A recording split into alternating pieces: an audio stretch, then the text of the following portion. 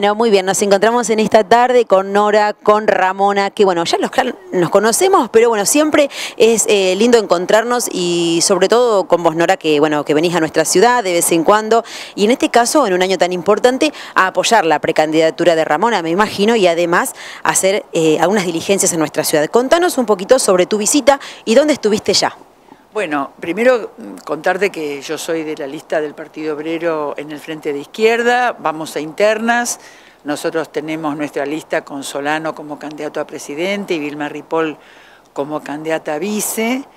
Eh, la otra lista que se presenta es la de Breckman con Del Caño, o sea que la gente al momento de querer votar a la izquierda tiene que tener claro que hay dos listas. Eh, y lo que venimos a hacer es lo que en realidad vos nos conoces hace muchos años, eh, hacemos siempre, ¿no? que es eh, acercarnos a los trabajadores, eh, ver la situación que se está viviendo en los lugares de, trabajo, de estudio o en los barrios, y sobre todo organizar los reclamos, ¿no? porque, por ejemplo, cuando a Solano, que va candidato a presidente, le preguntan cuál es la primera medida que tomaría el Partido Obrero si llegara a ganar la presidencia, cosa difícil, pero bueno, ponerle que se dé, y bueno, y él lo, que plantea es un aumento general de sueldos y de jubilaciones, ¿no? Entonces uno dice, ah, bueno, pero estos prometen algo difícil. Y pero no hay vuelta.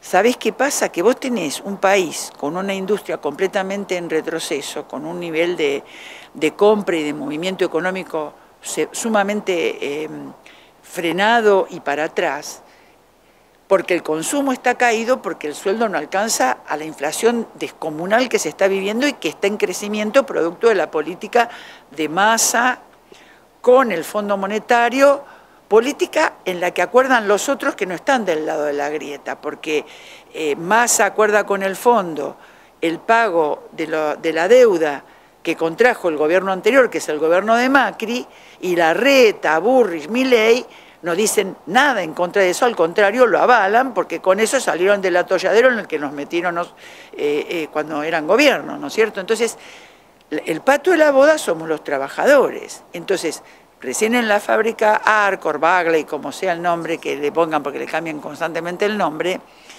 había buena recepción por parte de los trabajadores, porque nos conocen de toda la vida, nos conocen que los apoyamos cuando hubo conflicto, hace años cuando hubo los despidos, los conocen porque hemos estado eh, luchando porque haya una comisión interna combativa en la fábrica. Bueno, lamentablemente eso no se consigue, pero siempre estamos al pie del cañón, ¿no es cierto?, en la lucha de los trabajadores, en este caso el convenio de la alimentación es algo muy notable porque es medio testigo de la parte industrial, ¿no es cierto? Y, lógicamente, ¿cuál es la preocupación? Cuando decimos que se aumenten los sueldos y las jubilaciones, es que em, si hay empresas que dicen que no pueden, bueno, que se abran los libros las empresas, vamos a analizar, como hicieron los compañeros del neumático el año pasado cuando estaban de huelga, sindicato que dirigen varios compañeros del Partido Obrero, y bueno, mostraron, eh, conociendo los libros de las empresas del neumático, le mostraron al mundo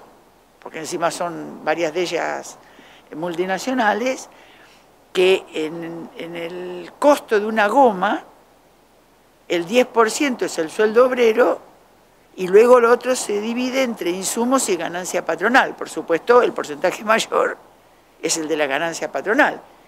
Entonces, cuando nosotros hablamos de sueldo, porque queremos ver los libros de la empresa Arcor, o los libros de, Acoplados Alto, o de Metribe, o de Satusager, para ver efectivamente cuánto gastan en, los insumos, cuánto gastan en la parte obrera y cuánto se llevan de ganancia. O sea, que esta vez se recorte la ganancia de los empresarios, no sé si me entendés.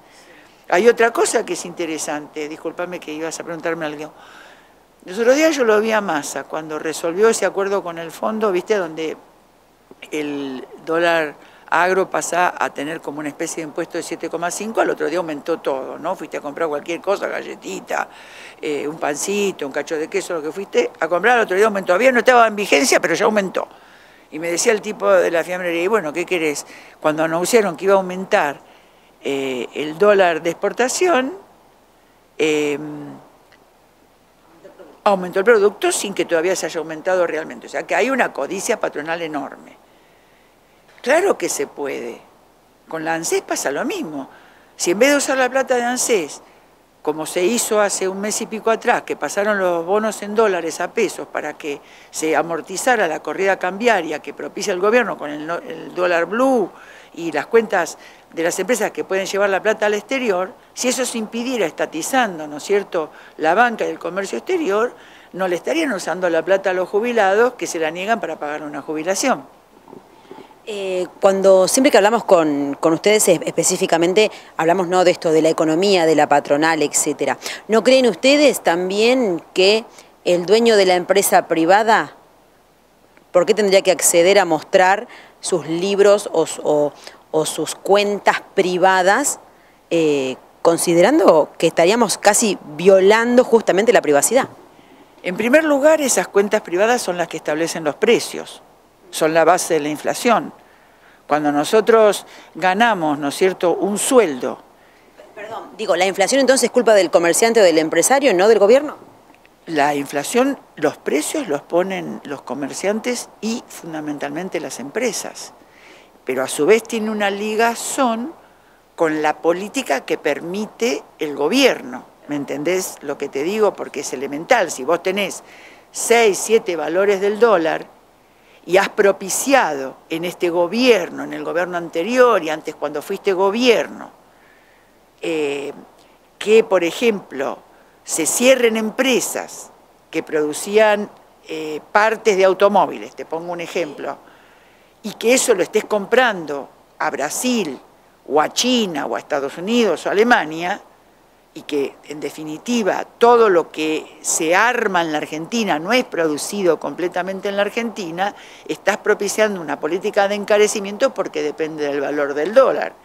Si vos estableces como gobierno, en este caso el gobierno del Frente de Todos, ahora Unidos por la Patria, estableces la posibilidad de, de, una devaluación, que es la que te está reclamando también el Fondo Monetario, y la vas haciendo en forma gradual, pero todo el tiempo aumenta el dólar, evidentemente sos parte, como bien preguntas vos, de la inflación. Pero el que pone el precio, por eso hay que ver cuál es la ganancia, es el empresario. ¿Y por qué no se toman medidas contra el Estado? Digo, ¿por qué no se achica el Estado? ¿Por qué ganan las eh, altas cifras que ganan senadores, diputados, eh, la gente que los asesora, que los viste, que los maquilla, etcétera, etcétera, etcétera? Sí, eh, los, que eh, los que tienen los puestos eh, electivos, ¿no es cierto?, ganan... miren, 18 ministerios. Claro, ganan sueldos exorbitantes, como también ganan sueldos exorbitantes los jueces, los obispos y los generales. Digamos, hay, viste, y el Estado sostiene muchas corporaciones. ¿Mm? la corporación judicial, como te pongo el ejemplo, o mismo los obispos, etcétera.